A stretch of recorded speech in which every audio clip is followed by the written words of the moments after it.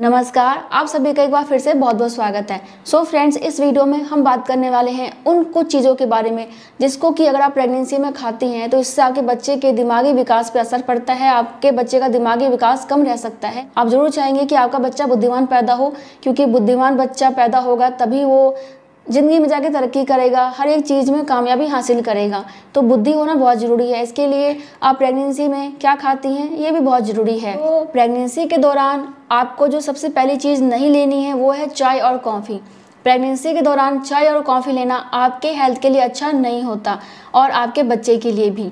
वैसे भी चाय और कॉफ़ी पीने के लिए मना किया जाता है और प्रेगनेंसी के दौरान तो आपके लिए यह और भी ज़्यादा नुकसानदायक हो सकता है। देखो, चाय और कॉफ़ी में क्या होता है? कैफिन, जो कि आपके बच्चे के दिमागी विकास के लिए, पूरे ही शरीर के विकास के लिए सही नहीं है। ज़्यादा चाय और कॉफ़ी पीने से दिमागी विकास पर असर तो पड़ता ही है, साथ ही साथ इससे आपके बच्चे के वज़न पर भी असर पड़ता है। तो प्रेगनेंसी में जितना कम हो सके चाय और कॉफ़ी पीने की कोशिश करें। इसके अलावा कैफीन चॉकलेट में भी होता है तो ज़्यादा चॉकलेट का इस्तेमाल भी मत कीजिएगा। अगर आपको चॉकलेट पसंद है तो कभी कभी थोड़ा बहुत खा लीजिए। यानी कि ज़्यादा कैफीन आपको नहीं लेना है, इससे आपके बच्चे के दिमागी विकास पर असर पड़ता है। इसके बाद जो दूसरी चीज़ है, वो है आपका सोडा। देखो, मार्केट में आपको बहुत सारे पेय पदार्थ मिल जाते हैं, जैसे कि सोडा, बहुत सारे कोल्ड ड्रिंक्स वगैरह होते हैं बहुत सारे फ्रूट जूस वगैरह होते हैं जो कि डिब्बा बंद होते हैं। तो ये चीज़ें आपके बच्चे के दिमागी विकास के लिए अच्छा नहीं होता, क्योंकि देखो, इनको सही रखने के लिए ना बहुत सारे केमिकल का इस्तेमाल किया जाता है, जिससे कि आपके बच्चे के शारीरिक और मानसिक दोनों ही विकास पर असर पड़ता है। और बच्चे का विकास ठीक से नहीं होगा तो नॉर्मल सी बात है कि बच्चा आगे चल के मंदबुद्धि ही होगा और बच्चा कमज़ोर रह जाएगा। इसलिए आपको ऐसा कुछ भी नहीं पीना है जो कि डिब्बा बंद हो, जो कि नुकसानदायक हो। और जो जूस वगैरह आपको पीना भी है तो बिल्कुल ताज़ा जूस पीजिए। अपने घर में बनाइए या फिर मार्केट में जा रहे हैं तो बहुत सारे आपको दुकान मिल जाएँगे जो कि फ्रेश जूस बना के देते हैं। तो उनसे जूस लीजिए। डिब्बा बंद जूस नहीं लेना बहुत ज़्यादा नुकसानदायक आपके लिए हो सकता है, खासतौर से बच्चे के लिए। इसके बाद जो नेक्स्ट चीज़ है, वो है अल्कोहल यानी कि शराब। देखो, शराब पीने से गर्भपात हो जाता है, बच्चा मरा हुआ पैदा हो सकता है।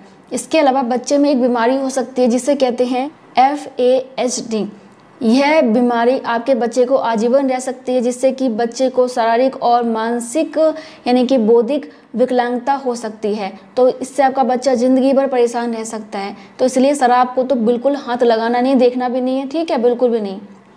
इसके अलावा और भी नशे की चीज़ें होती हैं, गुटखा है, तंबाकू है, सिगरेट है, ये सारी चीज़ें ही आपके बच्चे तक गर्भनाल के माध्यम से पहुँच जाती हैं और आपके बच्चे के विकास पर असर डालती है और आपके बच्चे के दिमाग को कमज़ोर करती है।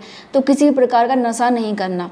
इसके अलावा देखिए, बहुत सारे चीज़ें होती हैं जो कि डिब्बा बंद होता है मतलब कि पैकेट बंद चीज़ें होती हैं मतलब कि इंस्टेंट डोसा है इंस्टेंट इडली है या फिर ऐसा कुछ आ रहा है जो कि एकदम से ही बन जाती है। देखा होगा ना आपने, आजकल बहुत सारे इंस्टेंट फ़ूड आते हैं, वो बहुत ज़्यादा नुकसानदायक होते हैं। इनको ठीक करने के लिए बहुत ज़्यादा केमिकल डाला जाता है, जो कि आपके बच्चे के लिए बिल्कुल ठीक नहीं है। इसके अलावा चाइनीज़ फ़ूड आपको नहीं खाना चाहिए। इनमें भी काफ़ी ऐसी चीज़ें डाली जाती हैं जो कि आपके बच्चे के दिमागी विकास के लिए सही नहीं है, शारीरिक विकास के लिए ठीक नहीं है। अगर आप मैगी वगैरह पसंद करती हैं खाना तो उसको इस समय खाना बंद कर दीजिए। चाइनीज़ फ़ूड को बिल्कुल पूरी तरीके से अवॉइड कीजिए।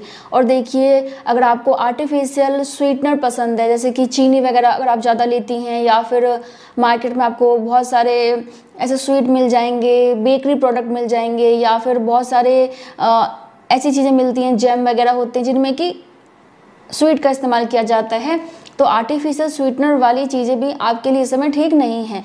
तो अगर आपको मीठा खाना पसंद है तो आप गुड़ खा लीजिए आप खजूर खा लीजिए आप अंगूर खा लीजिए केला खा लो और और किसमें होता है स्वीट?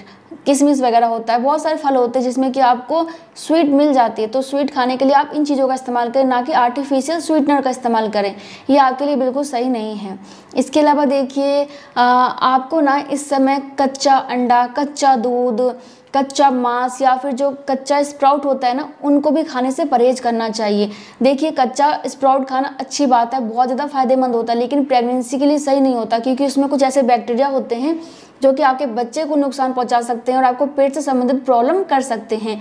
तो इसीलिए अगर आपको स्प्राउट पसंद है तो हल्का सा उबाल लीजिए ताकि उसके अंदर जो बैक्टीरिया वो मर जाए और आप आराम से स्प्राउट को खा सकें। और इस तरीके से आपको कच्चा दूध बिल्कुल नहीं लेना, क्योंकि कच्चे दूध में कुछ ऐसे बैक्टीरिया होते हैं, जो कि आपके बच्चे को और आपको नुकसान पहुँचा सकते हैं। तो दूध को अच्छे से उबालने के बाद लीजिए, मांस खाते हैं, मछली खाते हैं तो उसको अच्छे से पका के खाइए। और हाँ देखिए, अगर आपको मछली खाना पसंद है तो अधिक पारे वाली मछली भी आपको नहीं खाना। उस मछली में जिसमें कि ज़्यादा पारा है, ध्यान रखिएगा, जिनमें ज़्यादा पारा है, उस मछली को मत खाइएगा। ये भी आपके बच्चे के लिए, आपकी प्रेगनेंसी के लिए बिल्कुल सेफ़ नहीं है। इसके अलावा देखो बहुत सारे लोग क्या करते हैं, दूध में अंडा डाल के कच्चा अंडा डाल के उसको पीते हैं। और आपकी भी ऐसी आदत है, कच्चा अंडा या फिर अंडे को ना थोड़ा सा पका लेते हैं। मतलब कि गैस पर डाला, हल्का सा पका लिया, एक तरफ़ से पका लिया और उसको खाते हैं। तो ये आपके लिए सही नहीं है। अच्छे से पका हुआ अंडा होना चाहिए, बिल्कुल भी कच्चा नहीं होना चाहिए। और हाँ देखिए, इसके अलावा जो भी बाहर का तला बुना खाना है, या फिर जो फास्ट फ़ूड वगैरह होते हैं पिज़्ज़ा है बर्गर है, या फिर कुछ भी चाट पकौड़ा अगर आपको पसंद है तो वो भी आपके बच्चे के हेल्थ के लिए अच्छा नहीं होता। देखो, इनमें वैसे केमिकल नहीं डाला जाता, लेकिन क्या है कि इनको खाने से ना आपको कोई ज़रूरी पोषक तत्व नहीं मिलता। तो ऐसे में आपके बच्चे तक पोषक तत्व नहीं पहुंचेगा तो क्या होगा भाई कि बच्चे के विकास पे असर पड़ेगा। तो आपको ऐसा भी कुछ नहीं खाना है जिससे कि आपको कोई ज़रूरी पोषक तत्व ना मिले और आपके बच्चे के विकास पे असर पड़े। देखो हेल्दी चीज़ें खाओगे तभी तो आपके बच्चे को ज़रूरी पोषक तत्व मिलेंगे और आपके बच्चे का दिमागी और शारीरिक विकास अच्छा होगा। लेकिन अगर आप ज़्यादा उल्टा सीधा चीज़ खाएँगे जिसमें कि कोई पोषक तत्व नहीं है, कोई फ़ायदेमंद चीज़ नहीं है तो इससे आपके बच्चे का दिमाग कमज़ोर तो होगा ही। इसलिए जितना हो सके हेल्दी चीज़ें खाने पर ध्यान दीजिए, ताज़ा खाना खाइए, घर का बना हुआ खाना खाइए और टाइम पर खाइए। तो इससे आपके बच्चे का दिमागी विकास बहुत ही अच्छा होगा। तो आई थिंक ये वीडियो पसंद आया होगा। माँ की मैं मिलती हूँ नेक्स्ट वीडियो में। तब तक के लिए bye bye thank you so much नमस्ते।